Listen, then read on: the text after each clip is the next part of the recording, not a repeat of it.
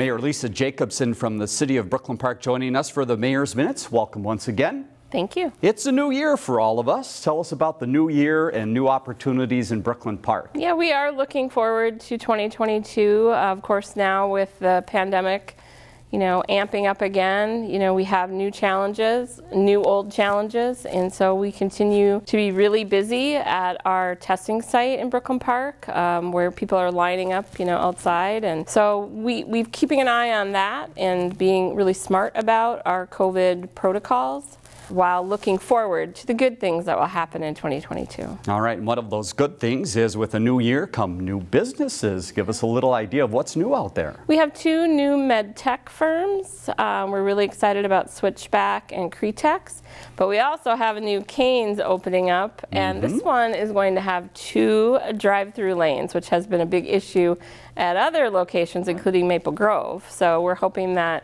they do very well, and there'll be some chicken wars with Chick-fil-A in, in that area as well. We can see it happening. Something else that's new is a small business incubator. Tell us where this is and what this is.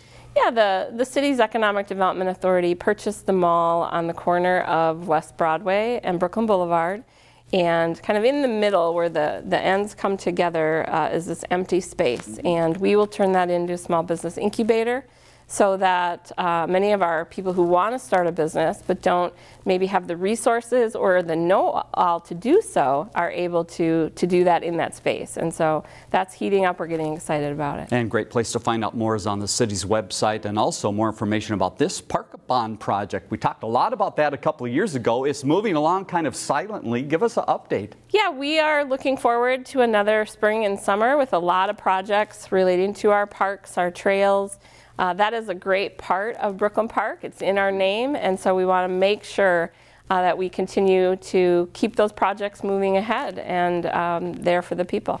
Final note, we want to pass along a little word from the mayor about public safety and also a special event coming up. Tell us yeah. about public safety first, what you're keeping an eye on. Absolutely. Um, the most critical uh, issue right now for me personally as the mayor and for our police department, our city manager and many other people in the community is around public safety.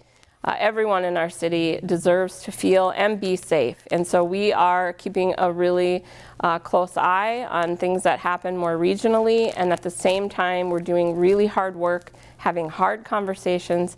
We're looking at um, ways to, to have people be safe, but also things that we need to do, things that systems we need to change so that things like our young people have mentors where they can see how to do life differently. And so January 25th, mm -hmm. more information will be coming soon on that event. Mayor, thank you once again for your time. Thank Look forward so to talk to you again soon. Thank you. Learn more about the connection at ccxmedia.org and follow us on social media.